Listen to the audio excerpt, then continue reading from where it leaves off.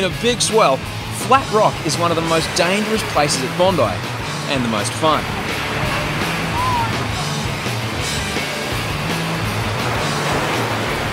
Yeah, I've been out there a couple of times. Been slaughtered both times, but I'll get out there and do it again. Maybe not today. Today is just a little bit too crazy, you know? yeah, look at that! It's worth it. Worth it. I don't know how they're not more into it. This is a stunt that requires extreme levels of bravery and stupidity. The procession of walking wounded begins with local kids Sean and Zach. I'm on the rocks. He comes to try to help me. He falls down. We both get tumbled over by the waves, but we survive. Zach's in a lot of pain, but he's too embarrassed to show lifeguards exactly why.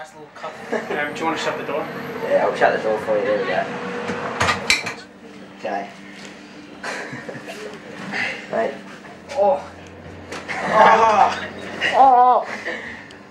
So every day, what little boys ask. Don't worry, this is as bad as it is for you as it is for me. That is one hot looking ass person. Yeah. Next victim of Flat Rock is Benny. Hey mate, you never turn your back on the ocean. hey boys! Oh, here we, here we go.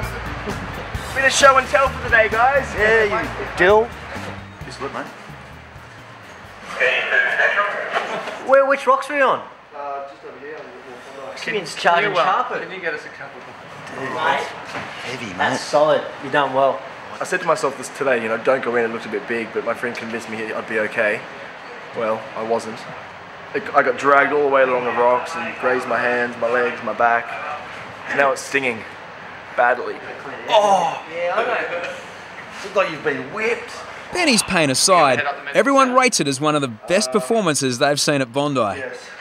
legs up in the air, halfway across the rocks, and he's just sitting there, just waiting for the next wave to come. It was the best, best stack I've seen out there. I'm almost done. Mate, not just in one concentrated spot, you know, like you've done such a good job. Really, you've excelled, mate. One of the best I've ever seen.